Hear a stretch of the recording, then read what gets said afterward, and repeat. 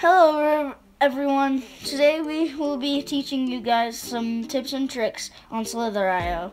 Hopefully you will become better at playing the game. Let's get on to our tips and tricks. Number one, stay small even if it's tempting. Staying small will help you to be a much bigger target to those huge snakes. Act like you are just passing by and then make them accidentally bump into you. Number two, use the lasso method. Circling around snakes is the best way to get food from them. Just move around them until they eventually give up and bump into you. After, you can have food all to yourself. When you get bigger, you can lasso multiple snakes at a time. Number three, make it figure eight when collecting food. This will help you make sure you get all of the food after you have circled around snakes for some time. Number four, collect snakes in large groups. Collecting snakes in large groups will help you to get not only double but quadruple the amount of food. When you get bigger, you will definitely be able to use the lasso method, but get larger quantities of food. Number five, in the bottom left hand corner, you can see what number you place in.